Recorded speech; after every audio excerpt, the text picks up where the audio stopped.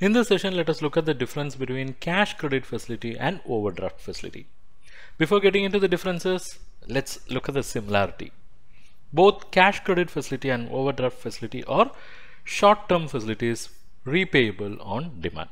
Okay, now let's get into the differences. The first difference is in terms of assessment. Cash credit facility is assessed by considering the working capital cycle of the borrower this is basically sanctioned to fill working capital gap. Whereas in overdraft facility, banks will permit the customer to withdraw more than the balance available in your respective account. Banks also sanction overdraft as a separate credit facility considering cash requirements of the borrower. The second difference is in terms of security. Cash credit facility will have two types of security. The first one is primary security and the second one that is other one is collateral security. Primary security is basically the pledge or hypothecation of current assets whereas collateral security can be both liquid securities as well as properties. Whereas overdraft facility will not have any primary security rather it is sanctioned only on the strength of collateral security which may be a liquid security or properties. The third difference is in terms of drawings Drawings in cash credit or drawals in cash credit is regulated by drawing power derived from stock statement. So it is possible that drawing power or the amount that can be drawn from cash credit facility may be below sanction limit.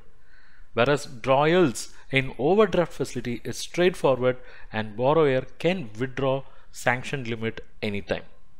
The fourth difference is in terms of utilization. Cash credit facility can be generally utilized only for business purposes whereas overdraft facility can be used for any purpose not just confined for business.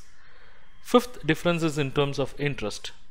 Generally, interest on overdraft will be slightly or marginally higher than interest on cash credit facility. The reason is the risk in overdraft facility is comparatively higher and there is also no primary security and there is no stringent monitoring mechanism like uh, as we have for cash credit.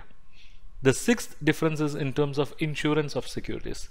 In cash credit, both primary security and collateral securities have to be secured, whereas in overdraft facilities, only the collateral securities because there is no primary security, so only the properties have to be secured.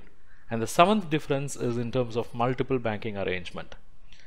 If a bank has already sanctioned a cash credit facility, they would have taken a charge on entire current assets of the business. That's how generally it happens.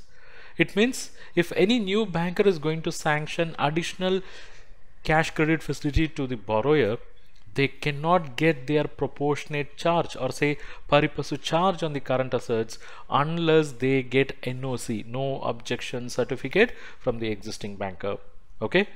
Whereas in case of overdraft, no objection certificate from the existing banker who have sanctioned cash credit facility is not required because here there is no pari passu charge creation on current assets. What is sanctioned here is an independent facility with exclusive charge on independent assets given as collateral. So no objection certificate NOC is not required from existing cash credit banker. However, following banking ethics, new banker should inform the existing banker that they have sanctioned OD facility to this particular customer.